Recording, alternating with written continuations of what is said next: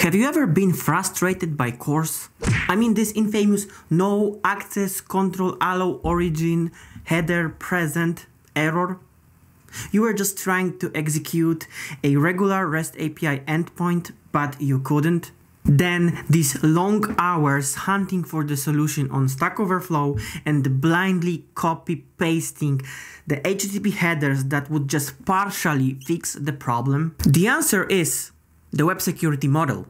During the next several minutes, I will help you understand the most important principle of that model, which is the same origin policy. We will start with the theory and explanation of important concepts, followed by coding labs that will show you the mechanics of this policy in practice. Let's get started. In order to understand same origin policy, let's first understand the concept of origin.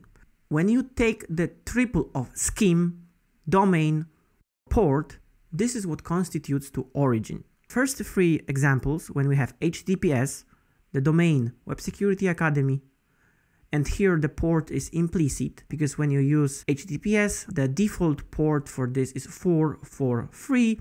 The default port for HTTP is port 80.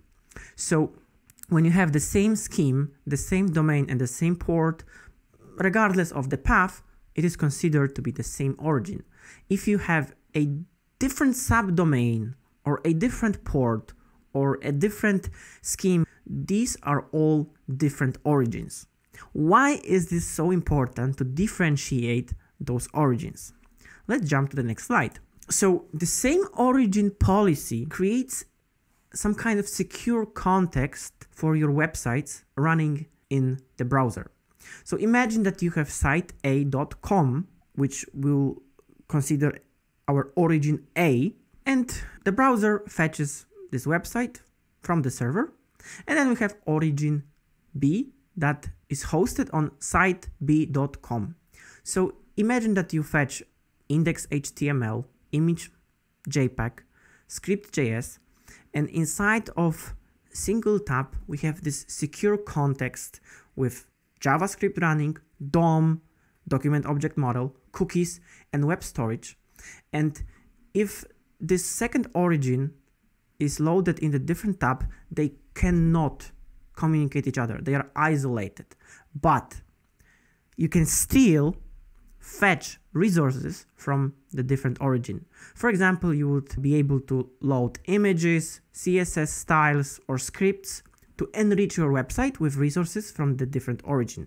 And here is very important to note that this is the browser which enforces same origin policy. And as I told you, there's going to be some kind of secure context that is going to bind this origin and the execution of this website and scripts and everything related to this website in your browser. And this single website would not be allowed to communicate with different origins. So imagine that you load some website and you would like to communicate with side B. By default, same origin policy restrict this kind of communication because who said that they can trust each other? Maybe one website is evil and we would like to prevent this kind of communication. In order for this kind of communication, origin B must whitelist origin A, explicitly saying that origin A is trustworthy. Let's look at this example. We have a simple website which displays hello world, some image, it links to some style sheets and scripts. And also it has some simple inline scripts implemented to call APIs on different URLs. So to serve this application, we have a simple server, which is written in Node.js and utilizes Express.js library to serve our application. If we look here, we see that whenever there is a request to this URL, we are going to serve index.html.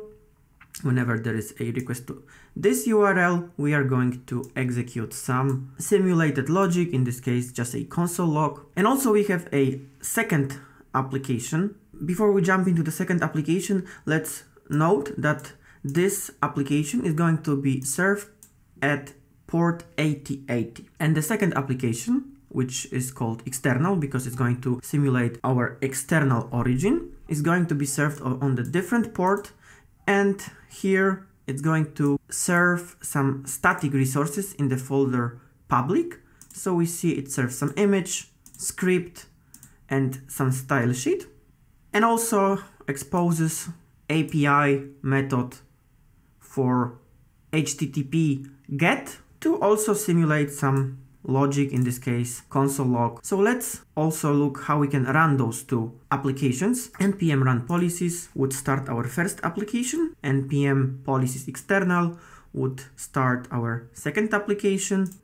As you remember, we are trying to see same origin policy in practice.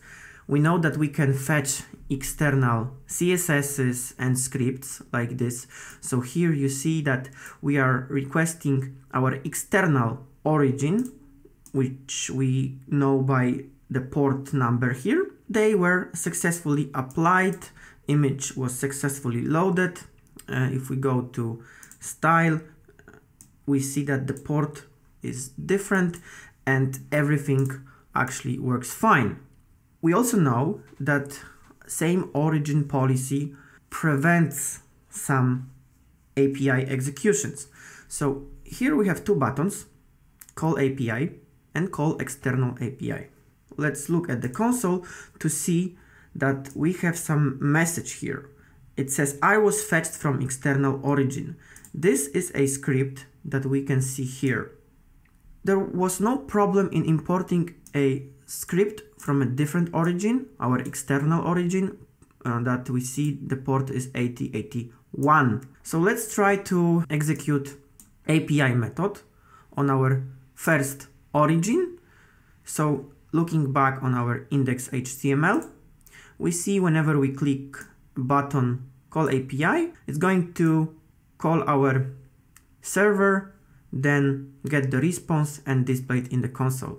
So whenever I click here, console log success and also our server says that API was called. But different situation would be when we would try to call external API because now our API endpoint is living on the different origin. So if we click here, we see two things that happened. First of all, request actually hit the server because we see console log from the server that external API was called, but actual response was blocked on the browser because we know that same origin policy is enforced on the browser level. So now, because we didn't actually allow this origin to communicate with our website, the result is blocked. To recap, we were able to get style sheets, images, and scripts to be executed